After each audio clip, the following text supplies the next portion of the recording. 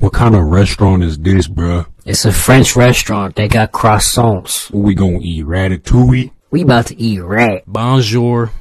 What is that? He said something about food. He been eating baguettes. Here's your menus. See, dog, this what I'm talking about. You saying we at a French restaurant? This motherfucker speaking American. Who gives a shit, bruh? Hand me that menu. What the fuck are these words? French. What kind of language is this?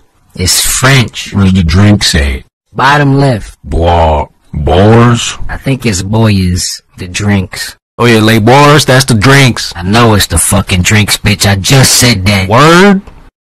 Motherfuckers are volatile tonight. I'm about to flash on this motherfucker. Just give me some damn water. On my life, I will smack the shit out of both of y'all. So what you about to order, bruh? I'm studying the French dictionary real quick. You can't study a dictionary, dog. Fuck you mean you can't study a dictionary? It's a book.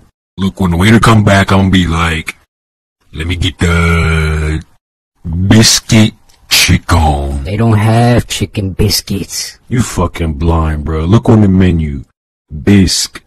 In English, that translates to biscuit. You dumbass, that's not a chicken biscuit, that's chicken bisque. It's soup. Look, I know biscuit when I see it. I'm ordering this shit. Fuck it, man.